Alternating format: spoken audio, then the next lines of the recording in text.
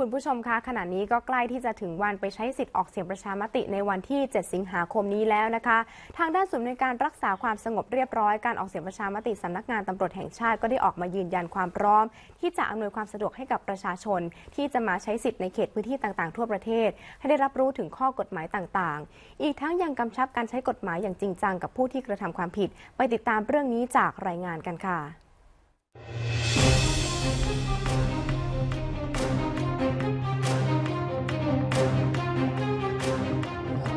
เหลือเวลาอีกไม่นานก็จะถึงเวลาลงประชามติร่างรัฐธรรมนูญในวันที่ 7 สิงหาคม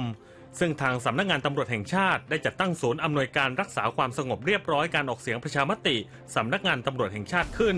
ตั้งแต่เมื่อวันที่ 11 กรกฎาคมที่ผ่านมา เพื่อประสานกับคณะกรรมการการเลือกตั้งอย่างใกล้ชิด จัดฝึกอบรมเจ้าหน้าที่ เพื่อให้การปฏิบัติและบังคับใช้กฎหมายเป็นไปอย่างมีประสิทธิภาพ และประชาสัมพันธ์ เชิญชวนประชาชนให้ออกไปใช้สิทธิ์ รวมไปถึงการระดมกำลังกวาดล้างอาชญากรรมต่างๆ โดยเฉพาะการกระทำความผิดที่เกี่ยวกับอาวุธปืน อาวุธสงคราม การพนันที่เกี่ยวกับการออกเสียงประชามติ และยาเสพติด เพื่อป้องกันการกระทำความผิดร้ายแรง หรือความผิดที่เกี่ยวเนื่องพลตำรวจโทชัยวัฒน์เกตวรชัย ผู้บัญชาการตำรวจภูธรภาคหนึ่งกล่าวว่า ผลดำเนินการระดมกวาดล้างอาชญากรรม ในการรักษาความสงบเรียบร้อยในช่วงการออกเสียงประชามติ ระหว่างวันที่ 10 ถึง 25 กรกฎาคมที่ผ่านมา ได้จับกลุ่มและตรวจยึดอาวุธปืนได้รวม 179 กระบอก เครื่องกระสุนปืนอีกกว่า 1,291 นัด จับกลุ่มผู้ต้องหาคดียาเสพติดได้ 1,158 ราย ยึดยาบ้ากว่า 67,000 เม็ดรวมถึงกระท่อม กัญชา ยาอี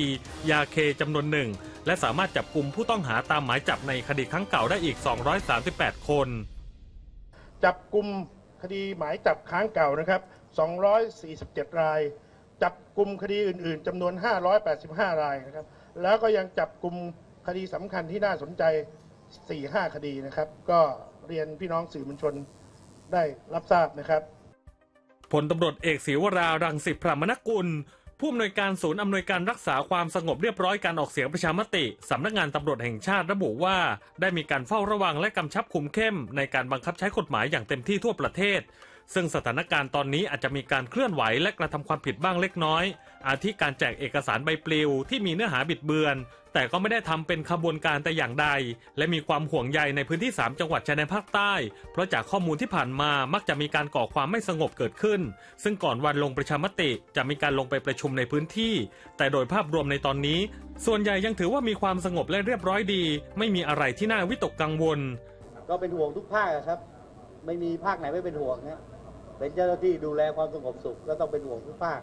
ก็การเคลื่อนไหวก็มีมีบ้างเล็กน้อยฮะก็พอมีอยู่บ้างครับ